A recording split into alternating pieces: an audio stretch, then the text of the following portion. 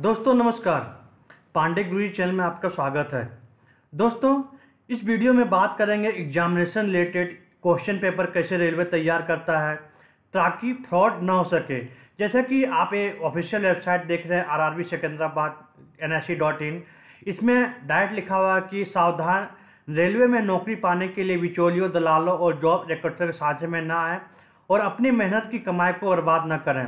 तो इसी को करने के लिए रेलवे ने बहुत ही क्वेश्चन को डिफरेंट डिफरेंट मॉडल में तैयार कर रहा है। तो आपको सबसे दोस्तों के मन में क्वेश्चन होता है कि क्या मेरे बगल में बैठा हुआ का क्वेश्चन पेपर सेम रहेगा? मैं उसका देख के टिक मार कर सकता है। तो दोस्तों, इसके लिए रेलवे पहले से ही तैयारी स्टार्ट कर दी है। जैसा कि देख रहे हैं कि अमर उजाला की ऑफिशियल ऑफिशियल वेबसाइट है। यहाँ पे लिखा हुआ है कि रेलवे परीक्षा में इस बार सबको मिलेंगे अलग अलग सवाल। जी दोस्तों, आपके पड़ोसी में या आपके पीछे या आपके आगे किसी का भी क्वेश्चन मैच नहीं होगा। ऑनलाइन परीक्षा के लिए आरआरबी ने तैयार करवाया बड़ा क्वेश्चन बैंक रिकॉर्ड आवेदन आने की वजह से अभी ऑनलाइन परीक्षा की तिथि तय नहीं। रेलवे भर्ती बोर्ड द्वारा असिस्टेंट लोको पायलट समेत विभिन्न पदों भर्ती के लिए इस बार व्यापक इंतज़ाम किए जा रहे हैं ताकि कोई भी फ्रॉड ना हो सके। रेलवे में बहुत बार सुनने को आता है कि सेंटर में ये फ्रॉड हो गया, पूरे सेंटर में फ्रॉड चला है। तो ये सिर्फ़ सब चीज़ को रोकने के लिए रेलवे काफ़ी कदम और टेक्नोलॉजी यूज़ कर रहा है ताकि कोई फ्रॉड ना हो। तो जो भी पढ़े होंगे स्टूडेंट, उनका ही एग्ज़ाम क्लियर हो।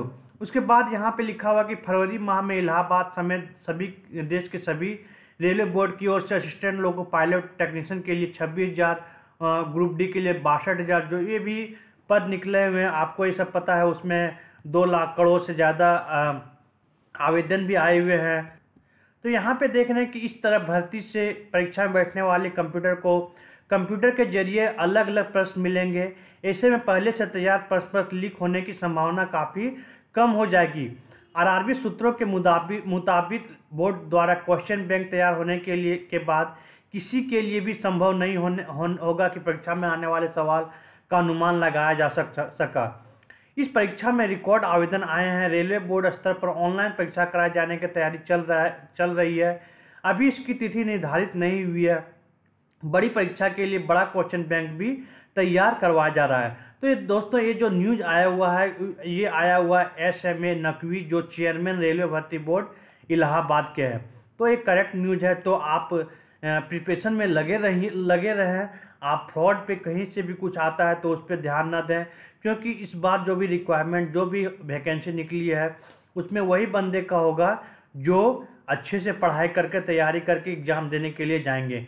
तो ऐसे ही वीडियो पाने के लिए हमारे चैनल पे को सब्सक्राइब नहीं किए हैं तो सब्सक्राइब ज़रूर करें, क्योंकि मैं डेली यहाँ पे examination related notification related study material में वीडियो प्रोवाइड करता हूँ। तो वीडियो देखने के लिए धन्यवाद। जय भारत, जय हिंद।